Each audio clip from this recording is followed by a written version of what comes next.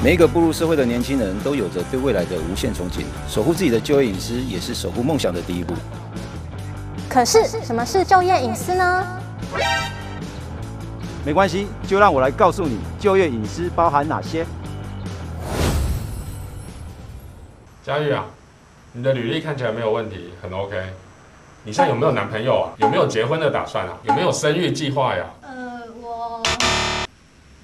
求职者要注意喽，以上的问题皆属于就业隐私之一的个人生活资讯，你是有权拒绝回答的。来来来，把这张测验表填一下。嗯，为什么要填写这个啊？心理测试也是属于就业隐私中的心理资讯范畴，也是可以拒绝填写的哦。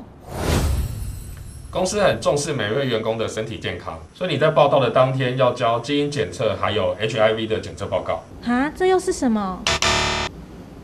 以上检测皆属于生理资讯，同样也可以拒绝提供。劳工局有宣导过，我的婚姻状况、生育计划、心理测验、基因检测等等，这些都是属于我个人的就业隐私，所以我拒绝提供。我要去劳工局检举你们。别这样，有话好说啊！刚刚发生在我身上的场景，相信许多年轻的求职者都有遇到过，请大家要记得哦。如果在求职的过程中遇到刚刚上述的场景，一定要守护自己的就业隐私，拒绝填写哦。依照就业服务法规定，雇主不得要求求职人与员工提供与职务内容无关的隐私资料，违反者可处以六万到三十万之间的罚款。台南市政府劳工局关心你的就业隐私。